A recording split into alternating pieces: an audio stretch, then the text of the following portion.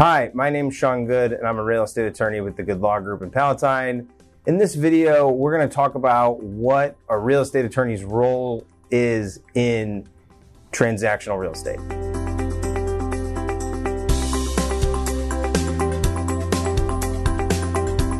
Attorneys' roles in real estate transaction cover a lot of different things, but in this video, I'm going to cover a few things. Specifically, I'm going to talk about contract, title work, negotiations, and the closing process. Transactions start with a contract.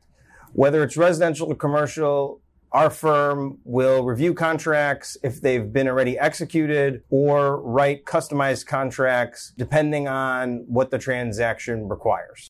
In both residential and commercial transactions, our firm will handle the title work. We will determine based on the searches what needs to be cleared to make sure that when a property is bought or sold, that the parties are giving or receiving clear title.